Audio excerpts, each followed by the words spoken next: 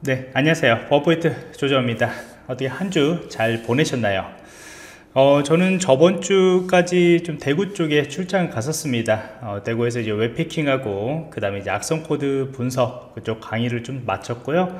이번 주에 조금 가족들과 쉬었다가 어, 다시 또 회사에 복귀해 가지고 또 이제 여러, 열, 열심히 또 강의를 쭉 찍고 있어요 어, 유튜브 생방송도 많이 하고 뭐 유튜브 컨텐츠도 많이 만들고 싶은데 어, 11월 달이 그 강사들한테는 어, 최고의 성수기라서 저도 예, 돈을 벌 수 있을 때 또 벌어야 해서 어, 유튜브를 조금 어, 많이 못 올리는 점 어, 죄송하고요. 그 대신 요번 11월부터 또 제가 개인적으로 하는 이벤트가 있습니다. 바로 이제 챌린지 문제 어, 대회 형식의 그러한 이벤트들을 좀 하고 있어요.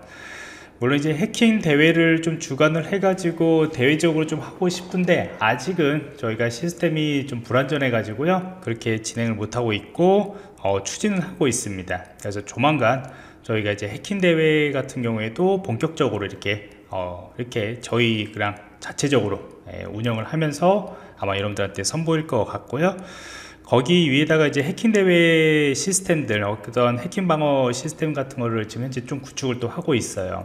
그래서 어, 아마 우리 쪽 강의를 듣는신 분들 우선순위로 모이킹 장기과정이나 침해사고 분석 장기과정 들으신 분들 우선적으로 좀 이렇게 공개를 해서 아마 테스트가 좀 될 것 같습니다. 어, 상당히 좀 기대가 됩니다. 그래서 그 중에서 일부 좀 쉬운 어, 이렇게 퀴즈들을 여러분들한테 좀 미리 공개를 해서 한번 같이 참여를 이렇게 하자는 어, 목적으로 어, 이렇게 어, 좀 이벤트성으로 하고 있어요. 참여하시는 분 중에서 이제 좀 정답을 또 맞추신 분들은 어, 저희가 출간했던 전자책 쿠폰들을 어, 드리고 있으니까요. 한번 관심을 가지시고 어, 좀 참여를 해 보시면 좋을 것 같습니다 그래서 그 중에서 문제 하나를 좀 한번 같이 풀어보는 시간을 갖도록 할게요.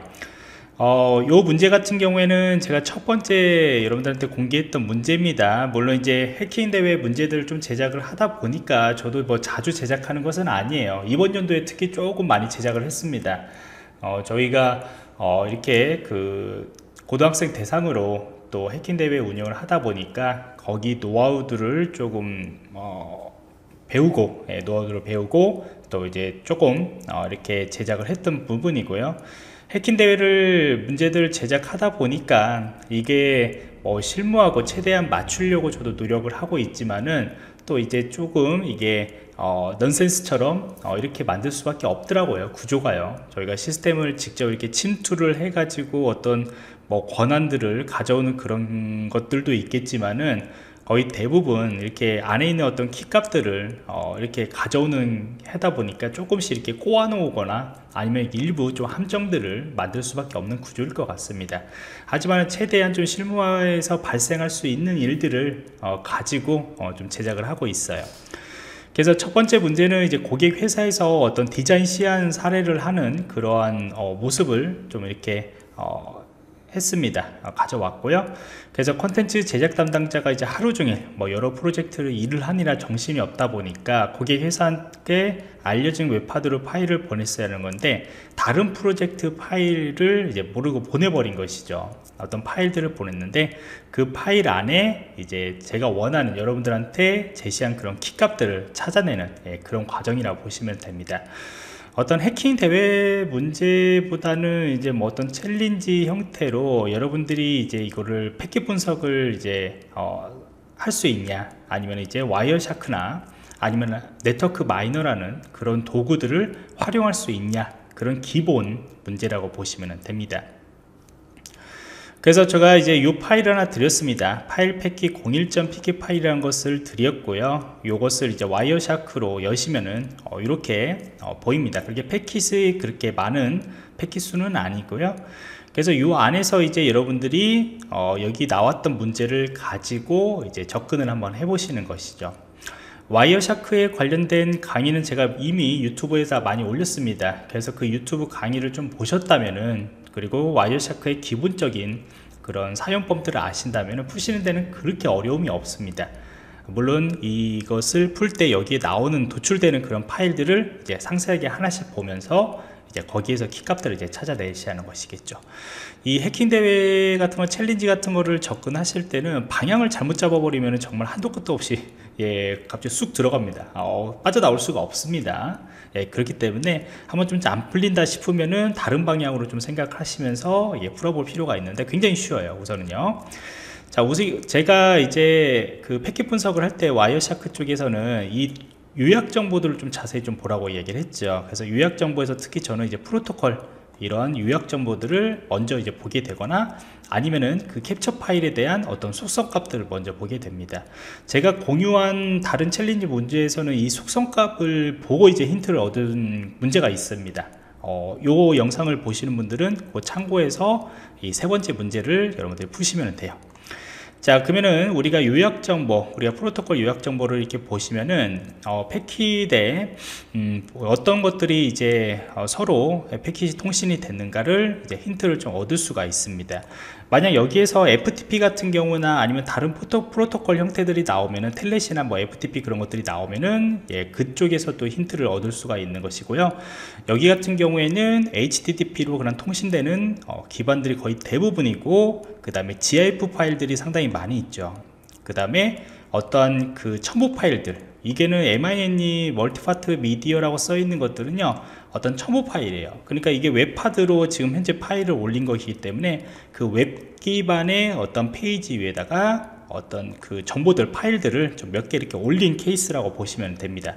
그래서 우리가 분석할 것은 어떤 이미지들이나 어떤 파일들이 첨부가 됐는가 이것들을 이제 중점적으로 보시면 되겠죠 자 그러면은 저희가 어, 여기서 힌트 얻을 수 있는 것은 이제 보냈다라는 것이잖아요. HTTP만 보시면 HTTP 정보만 이렇게 필터링 하셔가지고 보시면은 굉장히 뭔가 많습니다. 이것들을 다 볼 수는 없잖아요. 지금 현재 보시면은 뭐 이미지 파일들 뭐 get으로 이렇게 받는 이미지 파일들이 있는데 이렇게 이미지 파일들이 get 메소드를 이용해서 페이지에서 요청해서 하나씩 이렇게 단위별로 이제 가져오는 방식들은 뭐냐면은 어떤 사이트에 들어가 가지고 이게 구글 검색 사이트 같은 경우나 아니면 네이버 검색 사이트에 가시면은 저희가 검색하고 난 뒤에 그림 같은 거를 조회를 하잖아요. 아니면 이제 웹툰 같은 거를 이제 좀 보면은 이러한 형태들의 패킷으로 이제 나와요 특징이요. 어떤 그 검색했던 이미지 정보들을 다 한 번에 이제 가져와야 하는 것이기 때문에 그 정보들이 할 때 패킷에서는 이런 현상이 나온다. 이렇게 보시면 됩니다. 특히 이제 GIF 같은 경우에는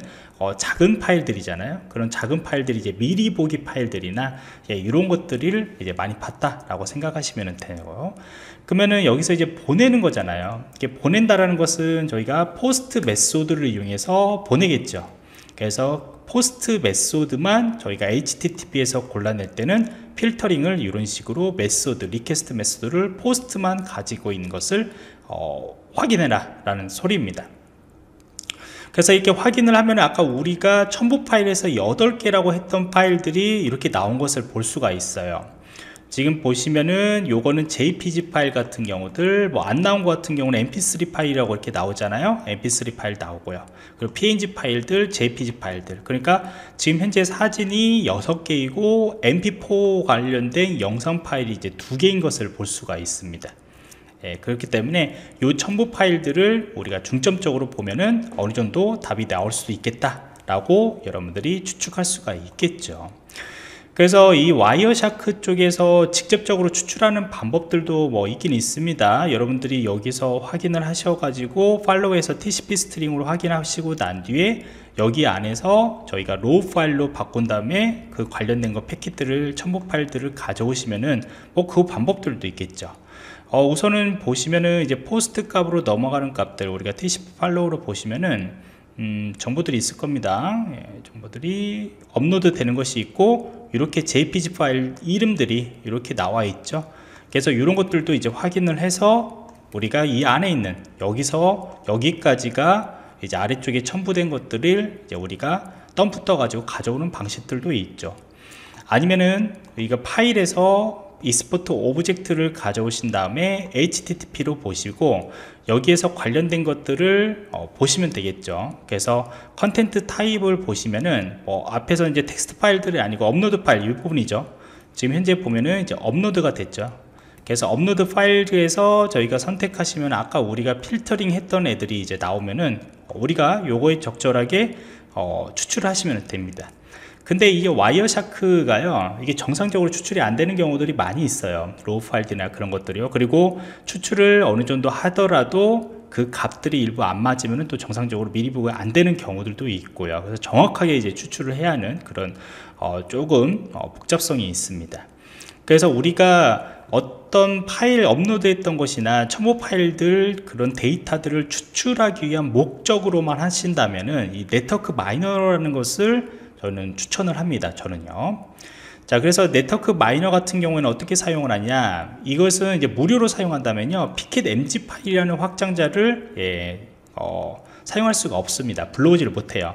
그래서 이것을 이제 Save As 하시고 난 뒤에 Save As로 저희가 어, pcap 파일 예, 기존 거 예, 기존 버전 형태들의 그런 pcap 파일로 예, 다른 이름으로 저장을 하신 다음에 불러오시면 됩니다 불러오는데 이게 좀 시간이 걸려요. 왜냐면 여기 첨부 파일들이나 그런 것들이 좀 용량이 크다 보니까 이게 추출을 해야 하기 때문에 좀 시간이 걸린다 라고 보시면 됩니다 자 그러면은 여기 같은 경우는 NetworkMiner 같은 경우에는 저희가 호스트 정보나 파일이나 이미지 정보 특히 이미지 같은 경우는 미리 보기가 이렇게 되거든요. 이런 것들 되게 좋죠. 그러면 이제 거의 다 대부분 보면은 이제 아이콘들이나 아니면 미리 보기 했던 정보들이 나오는데 중간에 이렇게 뽀로로 같은 것들이 이렇게 나오죠. 예, 그래서 어, 확인해 보시면은 이 뽀로로라고 되어 있는 얘네들 파일들이 하나 하나 둘 셋 넷 그 다음에 어, 다섯 개 하나는 모르겠네요. 하나는 또 여섯 개. 이렇게 이런 것들이 이런 파일 네임들이 제가 올렸던 파일들이에요. 나중에 한번 분석을 해 보시면요. 그래서 이런 것들이 하나의 그냥 이렇게 올렸다 라고 하는 그 가정의 그런 시나리오에 관련된 첨부 파일들인 것이고요. 어, 파일 내용들을 파일들 정보들을 보시면은 어, extension 파일들에서 보시면은 mp4가 있습니다. 저희가 mp4가 두 개가 올라갔다고 했잖아요 그래서 보시면 mp4 파일이 두 개가 이렇게 올라간 것을 볼 수가 있고 파일들 확인해 보면은 아까 그 첨부 파일에서 이런 파일명들을 예, 확인할 수가 있어요. 그래서 2010년도 10월 또 30일 같은 일정에 예, 올린 파일들이 있겠죠.